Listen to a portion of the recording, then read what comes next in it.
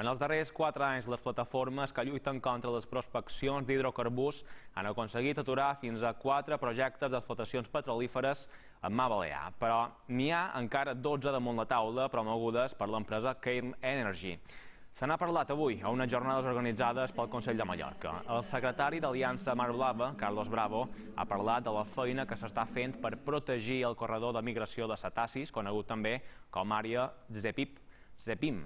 Al desembre, el Ministeri de Medi Ambient el podria declarar zona d'especial protecció. Tot i així, des de la plataforma són crítics en la política energètica del govern central i demanen l'aprovació d'una llei que prohibeixi de manera definitiva les prospeccions al Mediterrani.